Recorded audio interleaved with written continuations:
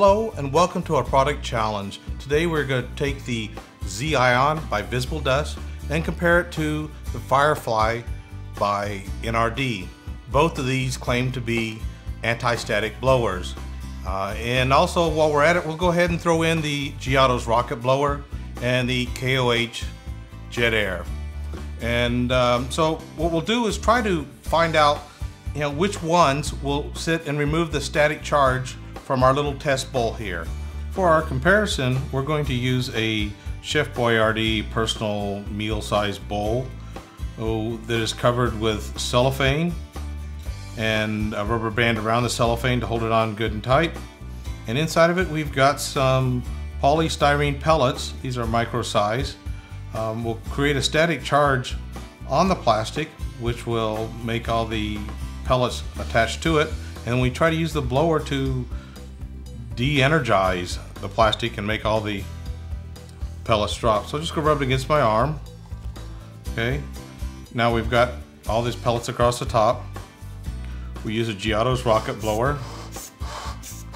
We can make them dance around. We can make some fall off because of the vibration. But as you can see, they're not all gone. So again, let's go ahead and re-energize it. This time we'll just try it with the KOH jet air blower. Again, we can make them dance and some of them fall. As you can see, they're not all gone. Okay, let's go ahead and rub against the arm again. Now we'll try the Zeeion. And this is uh, claimed to be a anti-static blower. So all these should be falling. Well, looks just like the uh, Giottos and the KOH jet air blower in that it makes them dance. But they're still there. Okay, now go ahead and rub it against the arm again. Face it down. And now we'll use the Firefly, which is an anti-static blower.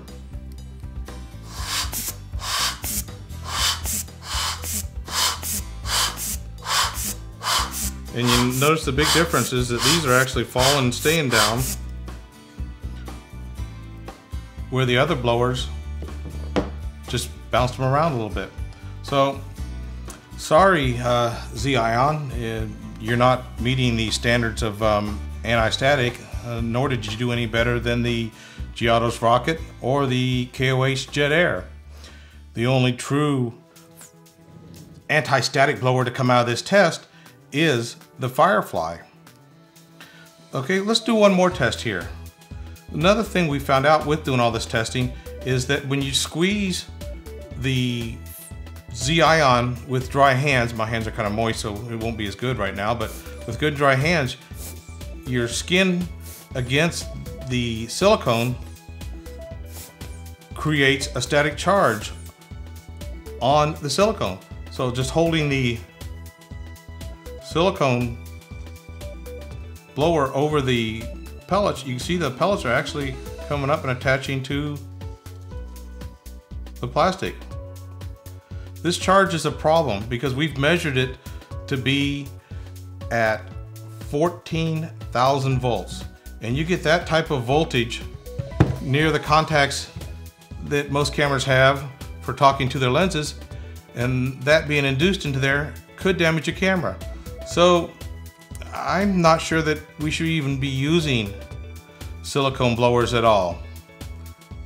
So what have we learned today in this video? There really is only one anti-static blower. This is the NRD Firefly, available directly from NRD's website or Adorama. Thank you for watching and have a nice day. And remember, the best photography is always dust-free photography.